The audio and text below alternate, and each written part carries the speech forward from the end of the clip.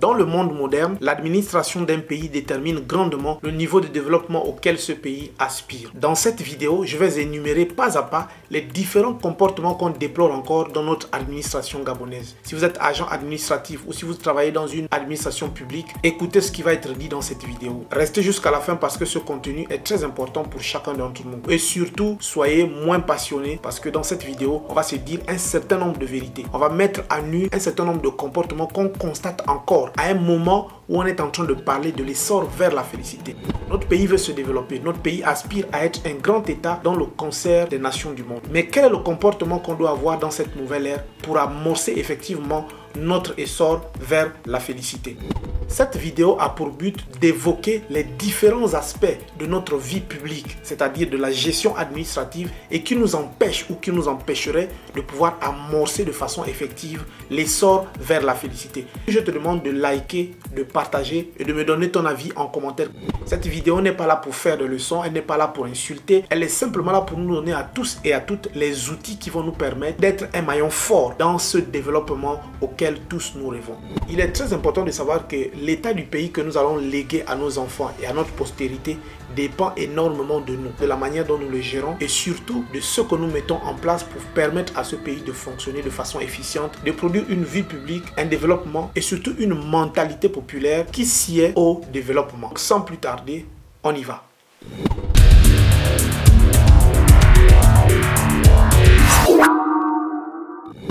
Déjà, le premier constat qui est à faire, c'est dans l'administration hospitalière. Lorsque vous vous rendez à l'hôpital, comment est-ce que vous êtes reçu? La majeure partie du temps, vous êtes reçu de la mauvaise manière. Vous devez comprendre une chose, c'est que la manière dont un patient est accueilli à l'hôpital détermine beaucoup son état de santé par la suite. Quand vous arrivez à l'hôpital, souvent au pays, vous vous retrouvez confronté à une triste réalité. Soit vous trouvez que les personnes qui sont là sont très occupées à faire autre chose et ne prennent pas soin directement de s'occuper du patient vient d'arriver. Et même lorsqu'on se met à s'occuper de cette personne, on ne peut rien faire si cette personne n'a pas répondu favorablement par rapport au financement. C'est-à-dire que vous arrivez dans un hôpital, si vous n'avez pas d'argent, bah, tout de suite on vous dit clairement qu'on ne peut pas s'occuper de vous. Et ça c'est quelque chose que je trouve dommage. Parce que la vie doit être privilégiée. Nous voulons développer le pays, mais vous pensez que avec ce type de mentalité, on va aller où? Dans un pays où on aspire au développement, les gens doivent moderniser leur manière de penser. L'argent ne doit pas être placé avant la vie. Lorsqu'un patient arrive dans un hôpital,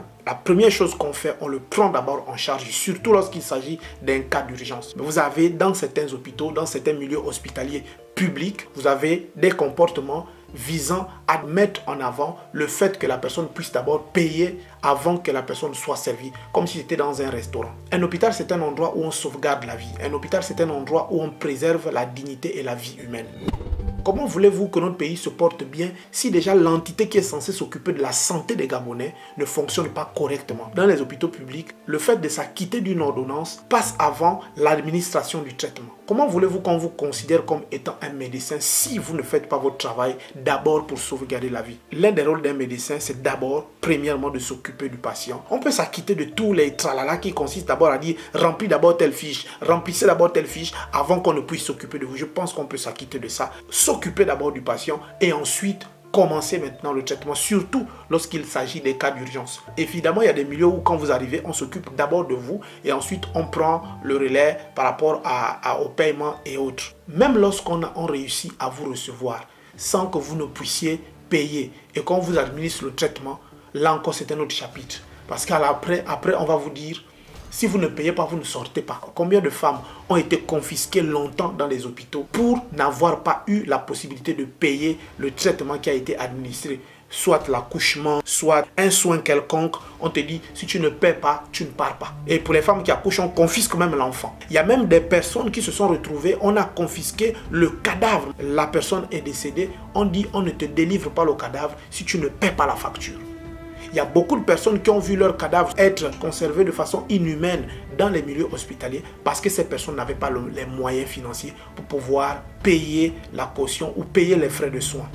Et je trouve que c'est dommage dans un pays comme le nôtre qui est en train d'amorcer un développement, qui est en train de parler de l'essor vers la félicité. Franchement, je pense qu'à un moment donné, ces choses doivent changer. Chacune des personnes qui travaillent dans l'administration hospitalière devait se battre à faire preuve d'humanité. On devait se battre à faire preuve de largesse pour permettre que notre service soit le plus efficient possible. En réalité, on ne doit pas mettre l'argent devant. Et je pense que dans un milieu comme l'hôpital, l'argent ne doit pas être privilégié, mais c'est plutôt la préservation et la sauvegarde de la vie qui doivent être mises en avant. Le deuxième comportement exécrable, c'est celui des agents des services publics, que ce soit les mairies, que ce soit les commissariats. Commençons par les mairies. Aujourd'hui, quand vous allez dans une mairie pour légaliser un document, vous êtes souvent confronté à une réalité. Soit on surfacture le prix de la légalisation, ou soit alors on vous fait attendre longtemps, ou on vous demande de repasser. Simplement parce que les gens qui sont là, ils se disent, bah non, on n'a pas que ça à faire. Mais vous n'avez pas que ça à faire. Finalement, qu'est-ce que vous avez à faire? Parce que lorsque vous êtes agent municipal et que vous êtes censé traiter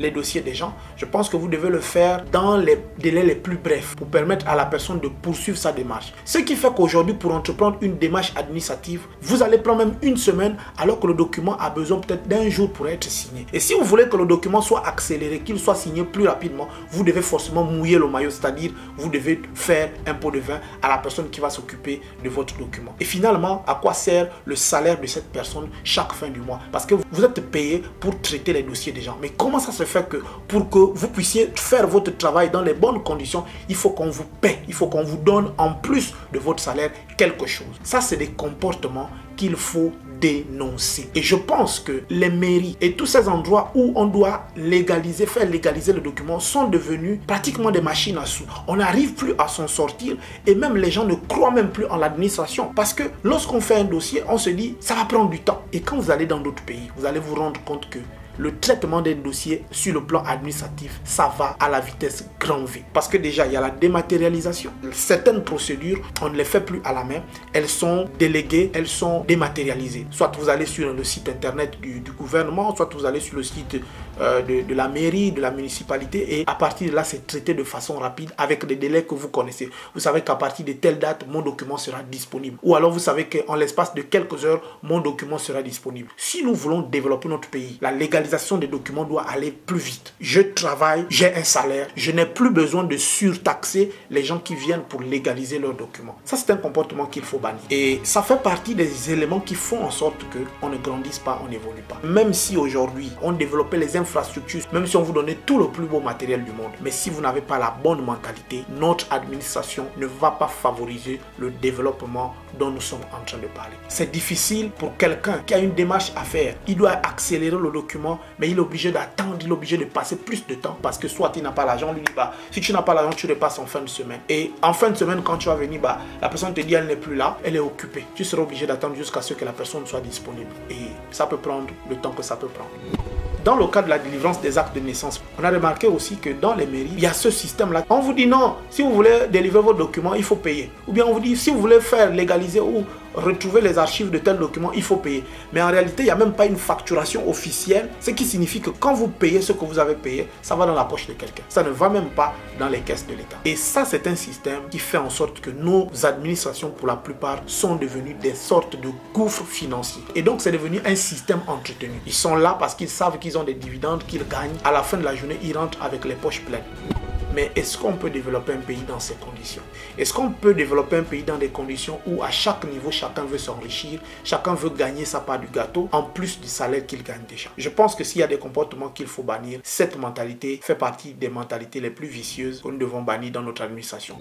Travaillons parce que nous sommes passionnés. Travaillons parce que nous voulons conduire notre pays vers un autre niveau. Travaillons parce que nous voulons faire en sorte que notre pays soit un modèle en Afrique et dans le monde. Et si nous voulons que notre pays soit un modèle, il faut que nous commencions par être exemplaires sur le plan administratif. Facturer comme il faut correctement, se contenter de son salaire et travailler avec passion. Si vous ne travaillez pas avec passion, alors ça signifie que ce travail n'est peut-être pas fait pour vous. Donc démissionner, changer, chercher quelque chose qui va vous satisfaire, qui va permettre que vous puissiez travailler avec passion. Parce que lorsqu'on travaille avec passion, on ne voit pas la charge. Lorsqu'on travaille avec passion, on a envie de faire plus. Lorsqu'on travaille avec passion, on aime ce qu'on fait. Mais lorsqu'on travaille par contrainte juste pour assurer un salaire, on est obligé d'afficher ce genre de comportement. Vous ne pouvez pas savoir, lorsque vous êtes un usager, le désagrément que ça fait lorsque vous vous retrouvez face à un agent qui manifeste ce genre de comportement.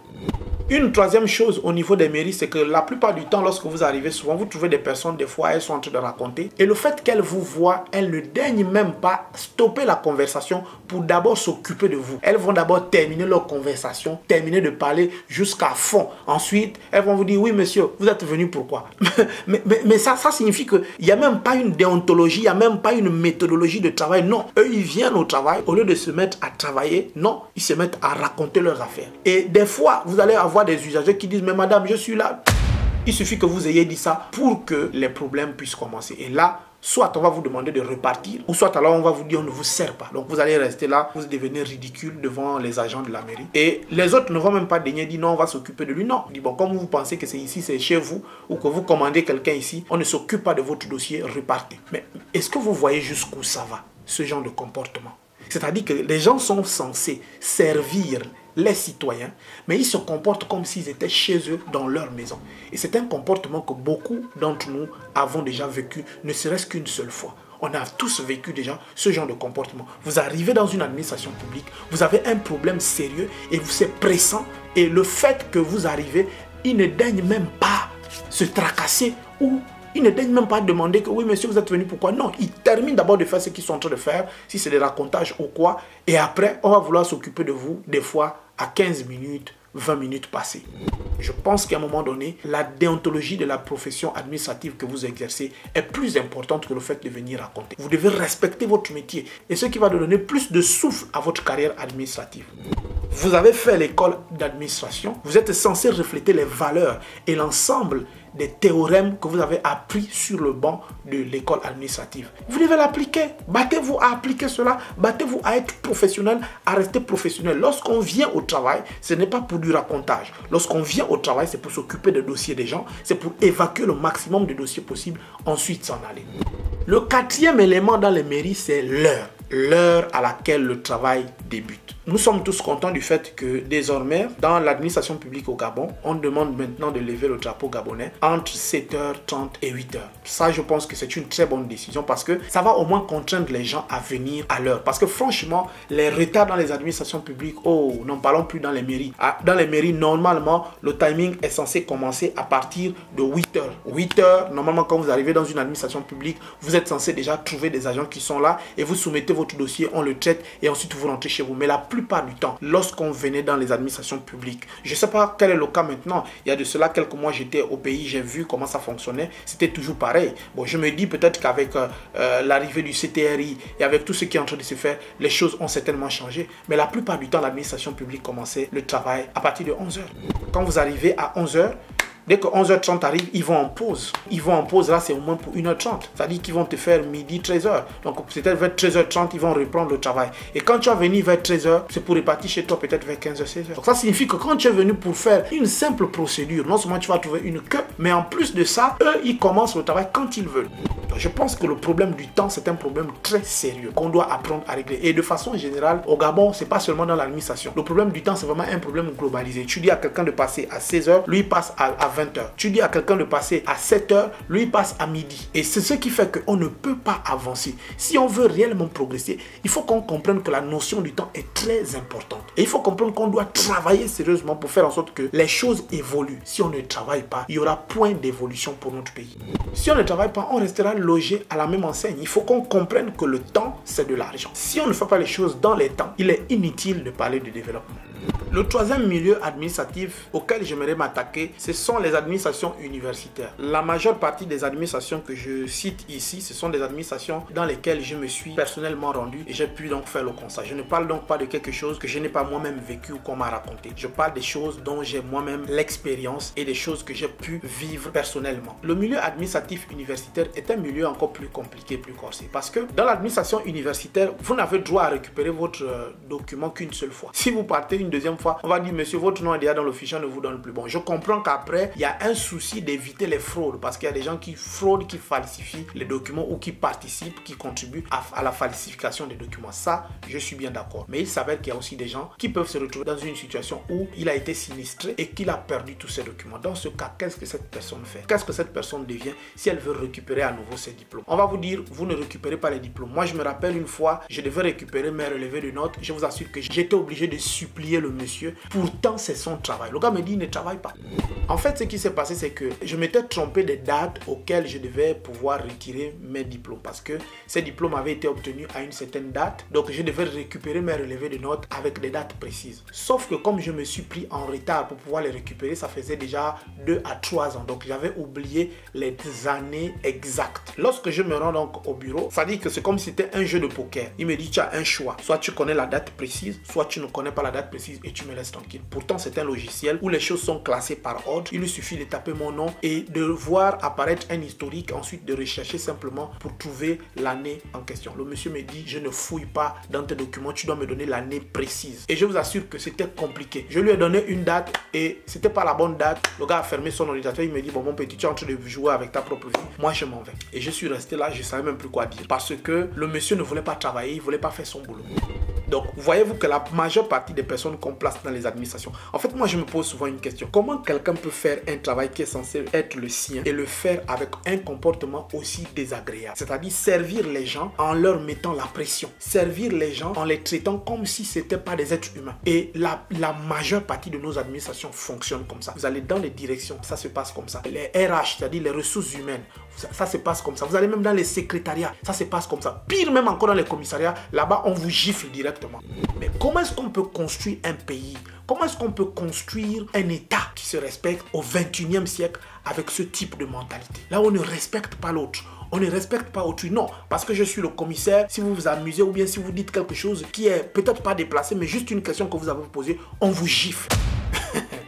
Ça dit que quand j'essaie d'imaginer ce genre de scénario, par exemple en France, c'est juste inimaginable. C'est pas possible en fait. On respecte qui vous êtes. Même si vous avez un petit corps ou vous êtes insignifiant, on vous respecte. On sait qu'on ne peut pas vous manquer de respect. On ne peut pas mal vous parler. On ne peut pas vous gifler. Mais chez nous, on se permet encore de gifler les gens parce que peut-être vous n'avez pas répondu à un certain type de critères ou peut-être parce que votre visage ne plaît pas. Mais comment on va développer notre pays si ce genre de mentalité est encore notre partage? Comment va-t-on développer notre pays si on a encore ce genre de mentalité? C'est juste impossible. Donc cette vidéo a pour but de nous sensibiliser et de nous faire comprendre que en réalité le développement dépend de chacun d'entre nous. En réalité le développement dépend de toi et de moi. Pour que ce pays puisse atteindre un niveau supérieur, il faut d'abord que nos mentalités changent. Parce que la réalité est que on peut nous amener les infrastructures, on peut nous amener l'eau et l'énergie, on peut même nous amener les transports publics. Mais si dans nos têtes on n'est pas développé, si dans nos têtes on n'est pas changé, il n'y aura jamais de changement.